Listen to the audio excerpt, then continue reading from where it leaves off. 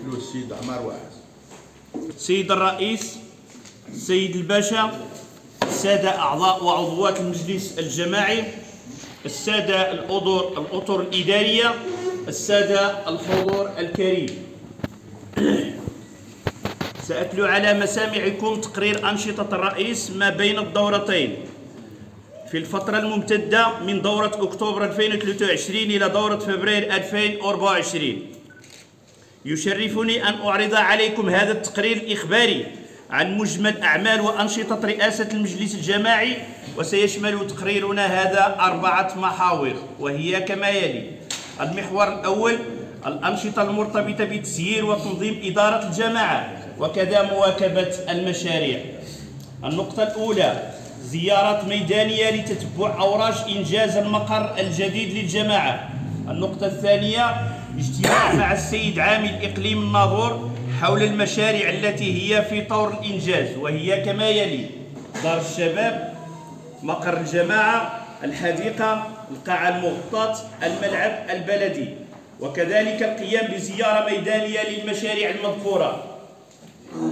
المحور الثاني الأنشطة المرتبطة بتمثيل رئاسة المجلس للجماعة في جميع الأعمال واللقاءات.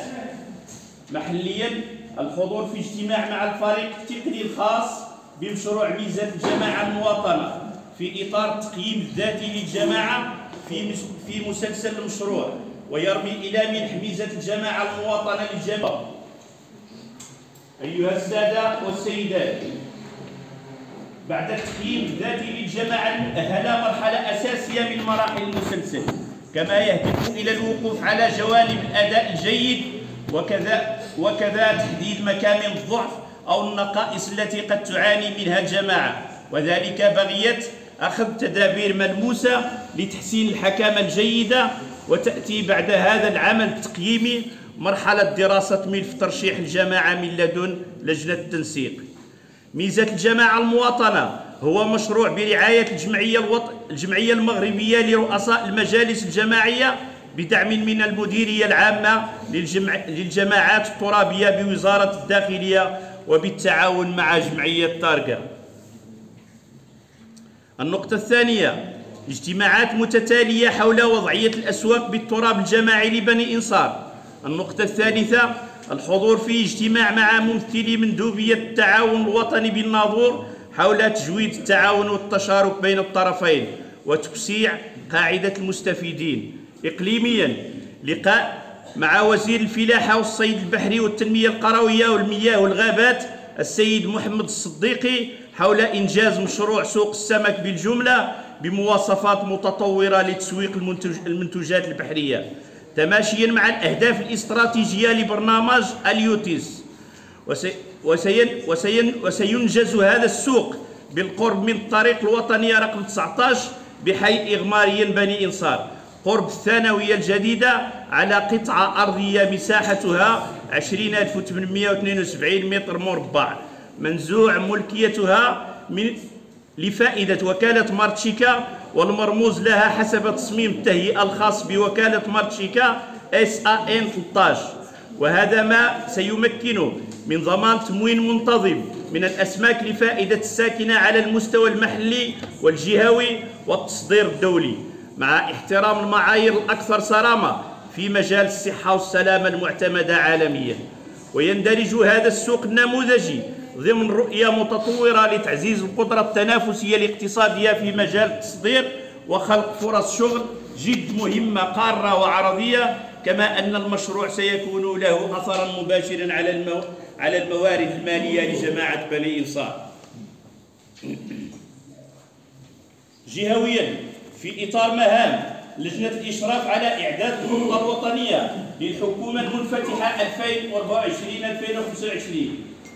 تسلمت جماعة بني إنصار دعوة المشاركة في لقاء جهوي بوجدة وكان برنامج اللقاء التشاوري الثاني في الصياغة التشاركية لخطة العمل الوطنية الثالثة للحكومة المنفتحة. وطنيا الحضور والمشاركة في فعاليات المنتدى الخامس للجماعات الترابية بشمال المغرب والأندلس أنمار وذلك بحضور منتخبين ومنتخبات من إسبانيا وموريتانيا وتونس والمغرب. وشاركت في هذه التظاهرة الدولية المنظمة تحت شعار التحالفات الجماعية والترابية تجارب من التعاون الترابي. شخصيات تمثل أكثر من ثمانون جماعة ترابية من الدول من الدول المشاركة. وتمحور نقاشها حول السياسات العمومية المحلية ومشاركة النساء في تدبير الشأن العام والمشاركة المواطنة والمساواة بين الجنسين إضافة إلى استراتيجية تأسيس التنمية والتعاون بين الأعضاء. والتعاون بين الأعضاء في مجالات عدة من قبيل التنمية المستدامة والاقتصاد الأخضر والطاقات المتجددة والخدمات العمومية. المحور الثاني عفوا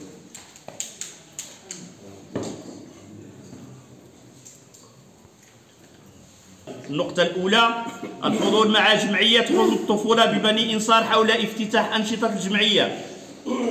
النقطة الثانية الحضور مع جمعية بني إنصار سيتي لكرة القدم في ندوة الرياضة أخلاق.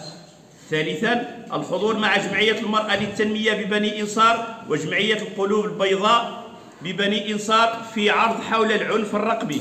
رابعا الحضور مع جمعية الناظور الذي نريد وذلك خلال حفل احتضنه المركب الثقافي بحضور ممثلي الهيئات المنتخبة والمجتمع المدني والإعلام. المحور الرابع اطلاع المجلس على الدعاوى القضائية التي تم رفعها بين الدورتين.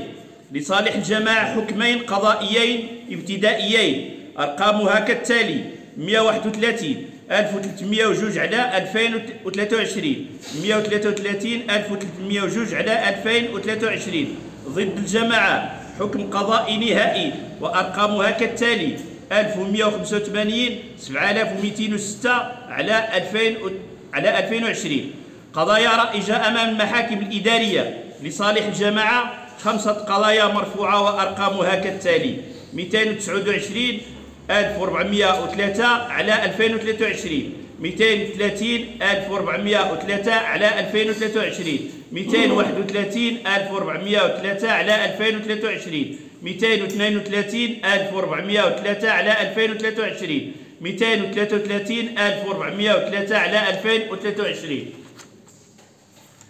ضد الجماعة أربعة قضايا مرفوعة وأرقامها كالتالي.